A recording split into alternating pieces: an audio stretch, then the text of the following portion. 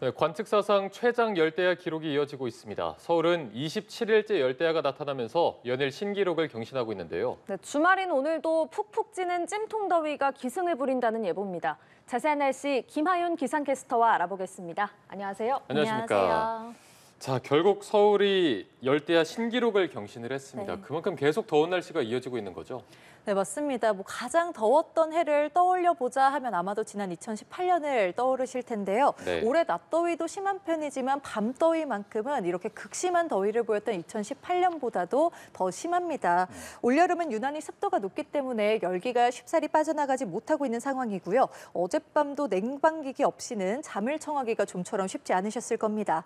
간밤에도 열대야가 나타난 곳들이 많습니다. 오늘도 최저 기온 25도를 웃돌아서 서울은 27일, 부산 은 23일 연속 열대야가 나타났고요. 어, 관측 일의 최장기록이란 신기록을 세우기도 했습니다. 네. 다음 날 오전 9시까지 최저 기온이 25도를 웃돌 때 열대야가 나타났다라고 관측이 되는 건데요. 어느덧 한 달 가까이 뜨거운 밤이 이어지고 있는 겁니다. 음. 밤에라도 좀 충분히 쉬어줘야 체력 회복이 될 텐데 요즘은 낮에도 워낙에 더워서 온열 질환자 수도 급증하고 있는 상황이니까요. 체력 관리에 신경 써주시는 게 좋겠습니다. 네, 주말인 오늘도 한낮에는 최고 기온 이 35도 안팎까지 올라간다고요. 네, 주말인 오늘도 푹푹 찌는 무더위가 계속되겠습니다. 전국 대부분 지역에 여전히 폭염특보가 발령 중이고요.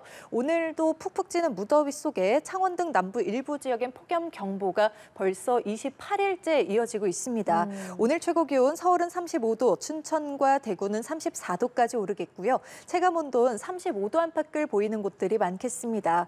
이번 주말도 야외 활동보단 최대한 실내 활동 위주로 계획하시는 게 좋겠 고요. 체열이 높아지면 온열 질환에 걸릴 위험도 덩달아서 급증하는 만큼 좀 통풍이 잘 되는 옷차림을 추천드립니다. 네, 이렇게 더워도 우리가 항상 밖에 나갈 때는 우산을 들고 나가야 말씀. 되잖아요. 소나기가 계속 내리고 있는데 오늘도 소나기 소식이 있을까요? 네, 요즘은 뭐 아침에 막다고 해서 그냥 나왔다가는 우산이 없으면 굉장히 당황스러운 상황이 맞아요. 빈번하게 네. 발생하곤 합니다. 오늘도 뜨겁게 달궈진 열기가 대기 상층부를 어, 불안정하게 만들면서 소낙성 비구름대를 발달시킬 텐데요. 오후 들어 내륙을 중심으로 요란한 소나기가 쏟아지겠습니다. 곳에 따라서 많게는 60mm의 비가 예상되는데 긴 시간 내리는 게 아니라 짧은 시간에 쏟아지다 보니 강도가 매우 강할 수 있겠습니다. 일부 지역은 시간당 30mm에 달하는 폭우가 집중될 수 있겠고요. 벼락과 돌풍이 동반되며 요란한 곳들도 있겠습니다. 안전사고가 우려되는데요. 이 더위 식히려고 하천이나 계곡으로 피서 떠난 분들은 특히 소나기가 쏟아지게 되면 물이 급격하게 불어날 수 있기 때문에 고립 위험에 항상 대비를 해주셔야겠고요. 또 이렇게 비가 시원하게 쏟아지면 더위를 조금 식혀주지 않을까라는 기대 감도 갖게 되는데 네. 아까 초반에 말씀드렸듯이 이번 여름은 유독 습도가 높다고 말씀드렸잖아요. 이렇게 소나기가 잠깐 지나고 나면 내리는 순간만큼은 더위가 조금 쉽게 느껴질 수 있겠지만 비구름 물러가고 난 뒤 햇볕이 내리쬐면 다시 습도를 잔뜩 끌어올리면서 날이 오히려 더 후텁지근하게 느껴질 수 있겠습니다. 네, 우리나라는 이렇게 폭염이 기승인데 일본에는 연이어 지금 태풍이 북상하고 있습니다. 이렇게 태풍이 우리나라가 아닌 일본으로 북상하는 것도 우리나라 폭염이랑 관련 이 있다고요? 네, 맞습니다. 최근 일주일 사이에 태평양에서 무려 네개의 태풍이 발생을 했는데요. 하지만 우리나라를 둘러싸고 있는 고기압의 영향이 워낙에 견고하고 벽처럼 튼튼해서 태풍이 뚫지 못하고 계속 일본으로 향하고 있는 상황입니다. 네. 어, 줄줄이 일본을 향하고 있는데 현재 5호 태풍, 6호 태풍, 8호 태풍은 세력이 많이 약해진 상황이지만 제7호 태풍 암필이 현재 매우 강한 세력을 유지한 채 일본으로 또다시 향하고 있습니다. 태풍의 경로를 자세하게 살펴 보면 오늘 오후 일본 센다이 동남쪽 해상을 지나서 내일이면 삿포로 부근 해상으로 진출할 텐데요. 우리나라는 직접 영향권에 없으니 아무런 문제 없지 않을까라는 생각하실 수도 있지만 태풍에서 불어드는 동풍이 우리나라 태백산맥을 넘어서 달궈지면서 더위를 더 심하게 만드는 간접 영향을 미치기 때문에 태풍의 영향이 아예 우리나라에 없다라고 말씀드리기엔 다소 무리가 있지 않을까 싶습니다. 네.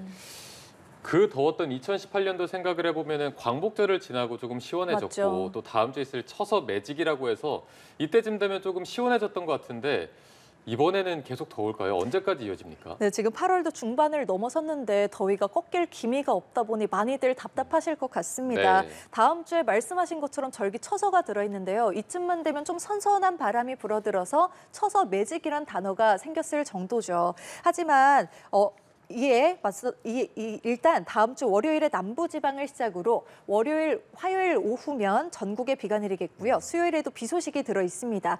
비가 내리면 더위의 기세가 조금 꺾일 수 있지 않을까라는 기대를 하게 되는 부분이지만 폭염을 완전히 해소시키기에는 좀 어려워 보입니다. 주 내내 폭염이 이어질 가능성이 높고요. 신기록을 세우고 있는 열대야도 계속될 것으로 보입니다. 예, 이렇게 폭염이 계속 이어지다 보니까 온열 질환자도 계속 발생하고 있는데요. 온열 질환을 예방하는 방법 그리고 요즘 열대야 때문에 잠 설치는 분들도 많으신데 밤더위 좀 극복하는 방법도 알려주시죠. 네, 낮이고 밤이고 이어지는 무더위 속에 많이들 체력적으로 지치실 겁니다. 연일 온열 질환자 수가 급증하고 있는 상황인데요. 일단 낮 동안 무리한 야외 활동은 최대한 자제하시는 게 좋겠고요. 어쩔 수 없이 진행되는 야외 노동 현장에 있다면 규칙 적인 휴식 시간은 필수입니다. 땀이 많이 나서 탈수 위험이 있는 만큼 물을 한 번에 많이 마시기보단 자주 조금씩 마시는 게 좋겠고요. 요즘 날이 덥다 보니 차량 안에 물을 마시고 페트병을 놓아놓는 경우들도 덜어 있으실 겁니다. 네. 하지만 이 물이 들어있는 페트병을 이 햇빛 햇- 페트병은 햇빛을 모아주는 돋보기 같은 성질이 있을 수 있어서 화재 위험이 있으니까요 조심하셔야겠습니다. 그렇군요. 알겠습니다. 자세한 날씨 상황 알아봤고요. 김하윤 기상캐스터와 함께 알아봤습니다. 오늘 고맙습니다. 고맙습니다.